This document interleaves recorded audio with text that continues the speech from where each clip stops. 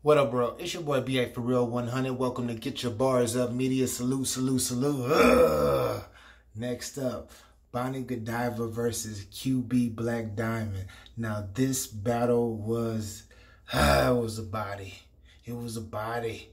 QB, you got you one. QB was, uh, uh, I expected this to be much closer, but QB is the queen of disrespect, and she just, like,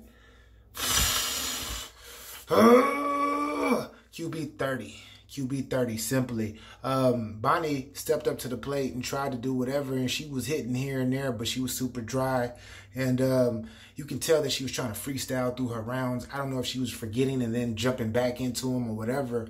Uh, but you can tell it, it simply wasn't working for her. And I just want to put this, be, be one of the first to put this on record. That, uh, that, that QB, uh, Tech 9 flip, that was, you want the Chris bias of the Tech 9, that was probably the best Tech 9 uh, flip that I've heard so far because usually like lately when other people been saying it, it's been it's been kind of eerie, but when she said it, it hit. I was like, whoa.